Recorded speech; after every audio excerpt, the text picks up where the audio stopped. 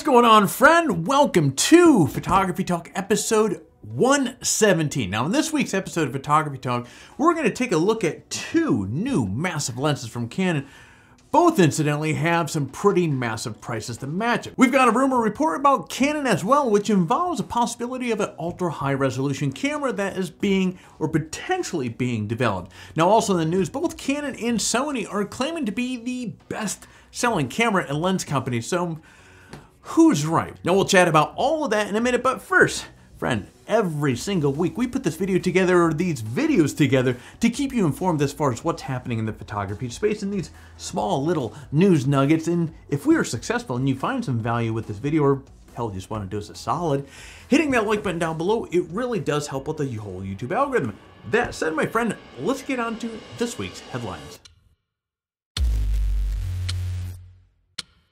Now, in case you missed it, last week Canon unveiled two new RF lenses, and these things are, they're stinking massive. Now, the first one is a 800 millimeter. This is a f5.6L, uh, and the second one is a 1200 millimeter f8L. Now, both lenses have very unique set of glass in the rear that serves as a 2x extender, and they both also have feature Air Sphere coating and super spectra coatings. This is supposed to help with the, the flare and the ghosting and these things. Now you'll also find two focus presets on each lens as well. Now the presets allow you to instantly switch between two presets, then this is basically going to speed up the process of focusing on subjects that are different distances. Now each lens features a customizable control ring that we absolutely love about these RF lenses. Nine blade apertures, L series optics, and the rugged build quality of an L series featured or lens rather. Now these big boys come with a big price as well. Now the 800 millimeter lens is 16 it's basically 17,000. And while the 1200 millimeter is 20 grand, so if you want the down to the penny, it's down to the dollar. It's $16,999 for the 800 millimeter and $19,999 for the 1200 millimeter. Yeah, I'm gonna I'm gonna pick up a couple of these. Neither of these lenses are available yet, but they plan to be available in May sometime. And of course, we're going to keep you guys uh, tuned in with as they become available. So therefore, you can go out and buy a couple of these suckers as well.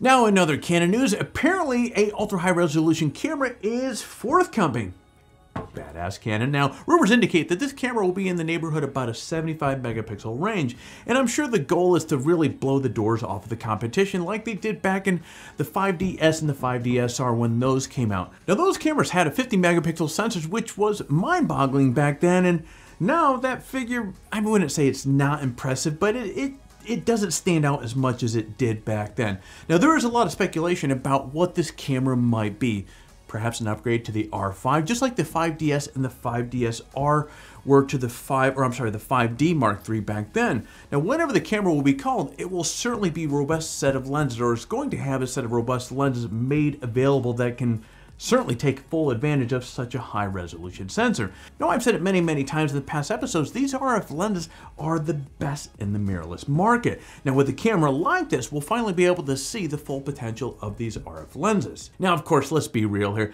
this is just a rumor, so there's no indication of when or if this camera might actually happen. Yeah, I think we can cross out if. So when this camera will actually happen. But anyways, as always, we're going to keep you guys posted as more information comes available.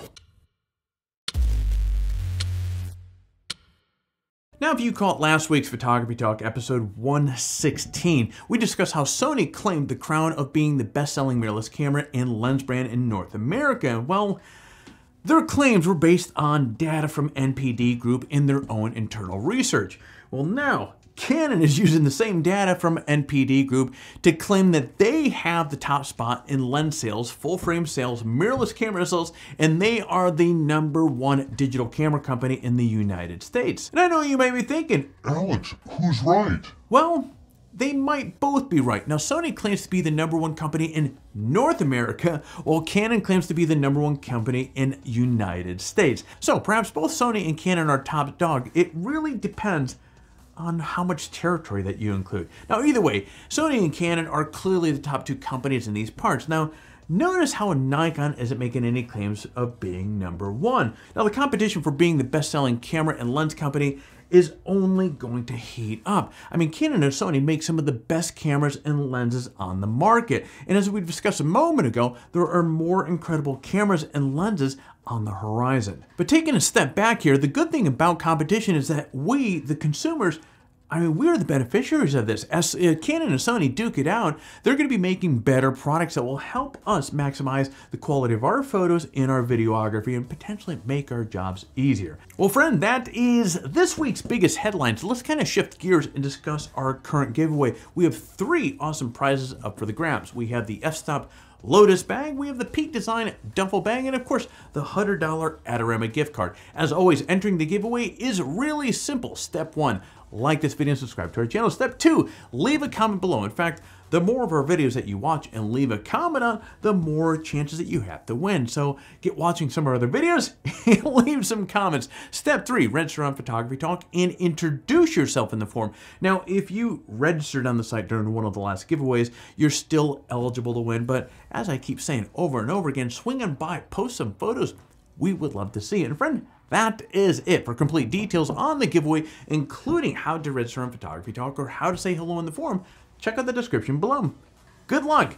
Oh, and one last thing before we go scooting off here. If you enjoy this sort of content, be sure to head over to Photography Talk, sign up for an account. It's free to do so and it gives you access to literally thousands of photography related articles on the site, including news articles on camera gear, photography tours, and much, much more. So take a moment, sign up for a free account, and get access to material that will certainly help you take your best shot. And one last thought about when you sign up on Photography Talk, if you do decide up for one of our uh, premium courses or our subscription, uh, last week or might have been the week before, we announced our Be Awesome coupon code that is worth 35% off everything on Photography Talk. And that is it, friend. Now, it's that time of the video where I'm going to ask you to do all that YouTube stuff that is oh so valuable to the channel. So if you found some value with this video, do me a favor, hit that like button down below. If you're currently not subscribed to the channel, friend, what are you waiting for? We have videos like this going on all day long not all day long. We have it every week, sometimes multiple videos per week, and we'd love have you part of the family. And last but not least, smash, kick that bell so therefore you're notified every single time that we come out with a new video. Now, I can officially shut off the cameras and get out of my studio. So friend, I'm going to do that so you get out there, stay healthy, and take your best shot.